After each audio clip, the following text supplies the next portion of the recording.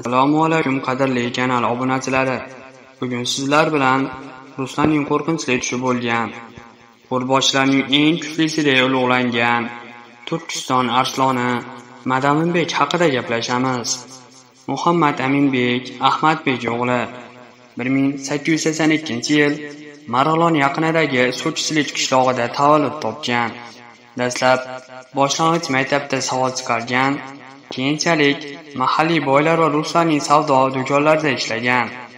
Birinchi jahon urushi arafasida podshohga qarshi faoliyati uchun 1914-yil politsiya tomonidan qo'lga olinib, 14 yilga Sibirdagi Neatsinsk degan joyga badarg'a qilingan.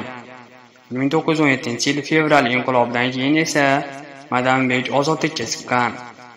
Shu paytda Sho'royi ulamo tashkilotining rahbarlari uni Marg'ilon shahar mirshablar boshlig'i lavozimiga tavsiya qilish.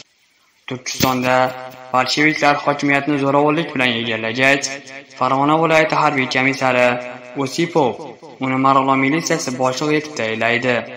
Biroq sovet rejimining siyosati va Turkiston muxtoriyatining qonga botirilishi Madaminbekni ozodlik uchun kurashga undagan. 1918-yil mart oyining boshlarida u o'z yigitlari bilan bolsheviklarga qarshi kurashuvchilar safiga o'tgan. Madaminbekning o'sha paytda qo'l ostida ming, bir yarim ming yigiti bo'lgan. Ular Marg'ilon va Tashlaq atroflarida qizil askarlarga qarshi dastlabki janglarni boshlagan. 1918-yil yanvarda Madaminbek qo'l ostida 16 ming kishidan iborat qo'shin to'plangan bo'lsa, o'sha yilning kuz fasli kelganda ularning soni 30 ming kishidan ortib ketgan. adambek xalq orasida katta obro'ga ega bo'lgan. U vodiydagi sovet hokimiyati organlariga muqobil ravishda o'z siyosiy boshqaruv usulini o'rnatgan.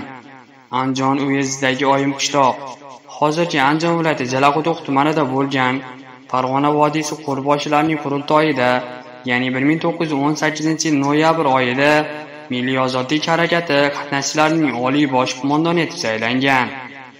1918-yilning oxirlaridayoq mustaqil harakat qilishga urinayotgan yirik qo'rboshilarning faoliyatini Madaminbek boshqarishga muvaffaq bo'lgan. Madaminbek yigitlari o'rtasida harbiy intizom kuchli edi. Uning yigitlari Qizil armiyaga qarshi jang qilish bilan bir qatorda bosqinchi va talonchilardan iborat ayrim mahalliy kichik to'dalarga qarshi ham shafqatsiz kurashganlar. Madaminbek 1919-yilning 2-sentyabrida Jalolobodda Mansurov bilan ittifoq tuzgan. 1919-yil sentyabr, oktyabrda uning qo'shini Jalolobod, O'sh va Marg'ilonni qizil askarlardan ozod qilgan. madanbekning Anjonni qamal qilishi butun Farg'ona vodiysini larzaga solgan. Biroq harbiy kuchlar yetarli bo'lmagani oqibatida yengilgan. Shundan so'ng Madaminbek Buxoro amiri Said Olimxon va Xiva xonligining o'sha paytdagi amaldagi hukmdori Junayd xon bilan Qizil armiyaga qarshi birgalikda kurashish uchun muzokaralar olib borishga majbur bo'ldi. Va bundan tashqari Madaminbek Afg'oniston va Turkiyaga o'z vakillarini jo'natgan. Rossiyaning Qashqardagi sobiq konsuli Uspenskiy va Buyuk Britaniyaning bosh konsuli Esteron bilan Yevropa davlatlari va AQShdan bolsheviklarga qarshi kurash uchun iqtisodiy va harbiy yordam olishga intilgan. 1919-yil 12-oktyabrda Pomning Ergashtim o'vrida bo'lgan yirik anjumanda Madaminbek boshchiligida Farg'ona muvaqqat muxtoriyat hukumati tuzildi.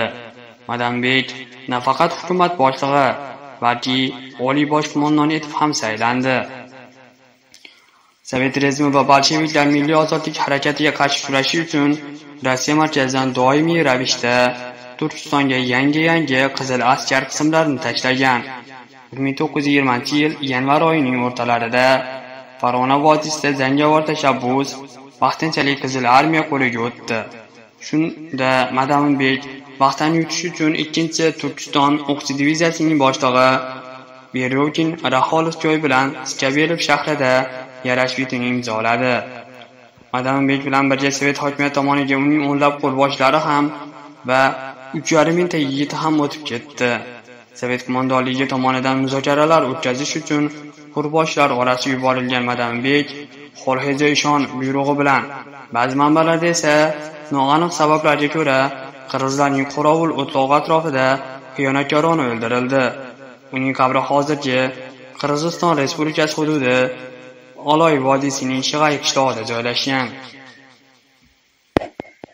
Bu millat hech qachon yengilmas edi.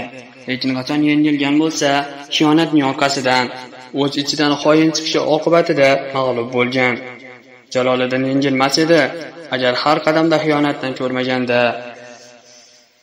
Agar bir sotqin bo'lmaganida edi, Xorazm shohlar davlati ham qulamas edi. Ha, doim bu millat yengilgan bo'lsa, xiyonatning orqasidan yengildi. Qurboshlar Qabrinda rohat top millat shahidlari, yosh Farg'ona kurashchilari, qahramonlari, yashasin millat qahramonlari, qabrda rohat topsin Farg'ona shahidlari, istiqlol tarafdorlari, mahv o'lsin kommunizm. Oh Farg'ona, qabringda rohatda bo'l Farg'ona shahidlari. Nomlaringni bir kun xotirlaydilar. Sizlarga duolar o'qiymiz. Vatan avlodlariga ibrat etarmiz. Qahramon millat yigitlari. E'tiboringiz uchun rahmat.